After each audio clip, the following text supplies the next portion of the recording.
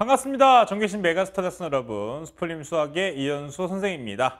여러분 2020학년도 11월 모의고사 고1 해설 강의 전반부 시작하겠습니다. 전반부는 딱히 어려운 문제 없기 때문에 여러분들이 시험장 가서 어떻게 빨리빨리 풀어야 될지 위주로 짚어드릴게요. 자, 1번부터 갑니다. 1번. 자, 1번은 A가 다항식 A가 X제곱 더하기 Y제곱의 마이너스 1 B는 2X제곱 빼기 Y제곱 더하기 3이라고 돼 있고 두 개 더하라고 하는 거니까 우리는 동류항끼리 묶는다고 배웠죠. 그러니까 얘랑 얘랑 묶어주면은 3X제곱 얘랑 얘랑 묶어주면은 어, nice 지워지고 숫자끼리는 플러스 2가 남아가지고 3X제곱 플러스니까 4번 그죠? 어, 이 정도 풀면 나 2점밖에 안 줘요. 됐고 2번 복소수 Z는 3 더하기 2i의 켤레 복소수가 Z 바일 때 그거 뭐지? 켤레 복소수가 뭐죠 여러분? 누구의 부호를 바꾸는 거지? 어, 허수 쪽의 부호를 바꾸는 거죠. 그랬을 때 두 개를 빼래요. 어, Z 마이너스 Z바 그럼 3 더하기 2i에서 이걸 빼는 거니까 우리 부호만 좀 조심하면 되겠다. 음, 지워. 얼마 남아요? 0 남네? 4i 남죠? 이렇게.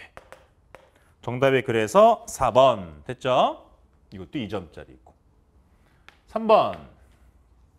전체 집합의 부분 집합 1, 2에 대해서 A 나머지를 구해라 이렇게 돼 있는데 전체 집합이 1, 2, 3, 4, 5. 그 다음 A가 1과 2밖에 없습니다. 그러면 우리는 A에 이걸 뭐라고 하지? 여집합 3, 4, 5 그거에 뭐 하여라? 개수를 구하여라. 그러면은 몇 개예요? 세 개죠? 답이 그래서 3번 음, 됐고 4번 이차함수 y는 x제곱 마이너스 2x 플러스 9의 최소값을 물어봤습니다. 얘는 x-1의 제곱에다가 8을 더해야 9가 되죠. 그러니까 이렇게 애야. 여기가 1이고 여기가 8이네요.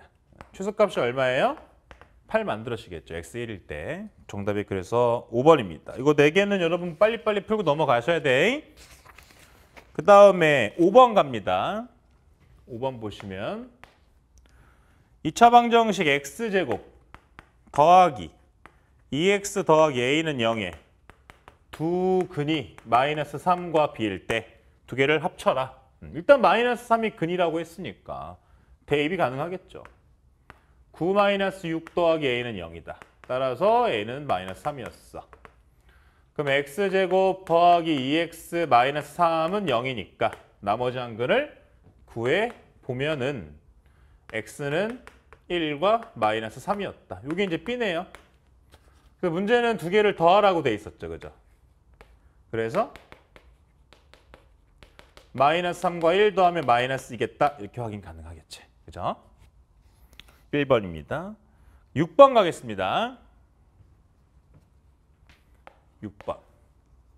모든 실수 x에 대해서 등식 x 더하기 2의 세제곱이 ax제곱 세제곱 더하기 bx제곱 더하기 cx 더하기 d가 성립할 때 a, b, c, d를 모두 더하라 이렇게 돼 있는데 힌트가 어디 있죠?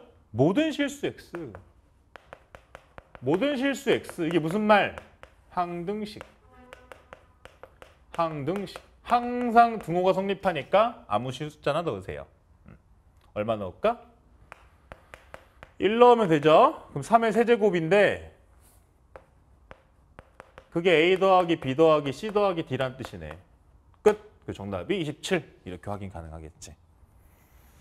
전개에서 a, b, c, d를 모두 찾아내도 상관없지만 권장하진 않습니다. 7번. 좌표 평면 위에 두 점 0, 0. 그 다음 a 3, 1에 대하여 OA를 2대 1로 외분하여라. 외분하는 점의 좌표가 두 개 나오는데 곱하여라 이렇게 된 거죠.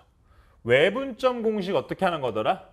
2대 1. 외분점 공식은 두 개를 뺀 다음에 x자로 곱해서 두 개를 빼는 거죠. 두 개를 뺀 다음에 x자로 곱해서 두 개를 빼는 거죠.